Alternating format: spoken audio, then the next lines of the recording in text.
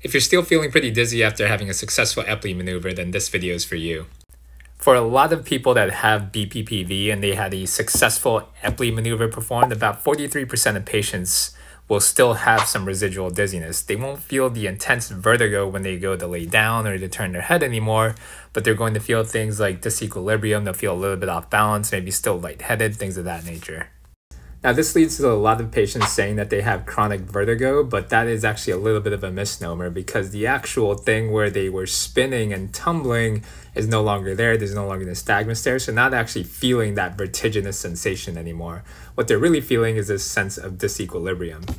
One of the most common reasons that this happens is that the brain, particularly the cerebellum, doesn't compensate around that vertigo episode very well because sometimes when you get that BPPV treatment through the Epley maneuver, it actually gives you the most intense sensation of vertigo after a high intensity incident like that, it's going to really upregulate the centers of your autonomic nervous system, which may create the grounds for negative plasticity.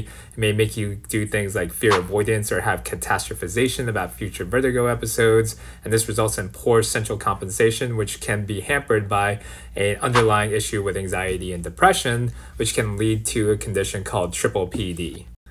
But we also have to rule out other types of problems, like maybe someone had vestibular hypofunction that they didn't know that they had before, or they might have another sensory motor problem like a cervical spine issue that could be contributing. This is a place where vestibular rehab exercises like gaze stability and balance training may be helpful. I also recommend other habituation exercises like the Brandt Daroff maneuver in order to desensitize that sensation of tilting towards your side.